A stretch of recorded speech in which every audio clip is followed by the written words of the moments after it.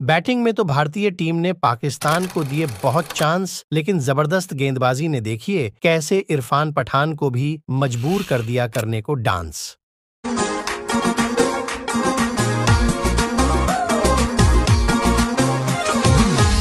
दोस्तों, आपके अनुसार पाकिस्तानी टीम की हार का सबसे बड़ा कारण क्या रहा? और भारतीय टीम में सबसे अच्छी परफॉर्मेंस आपको किसकी लगी? कमेंट बॉक्स में ज़रूर बताएँ।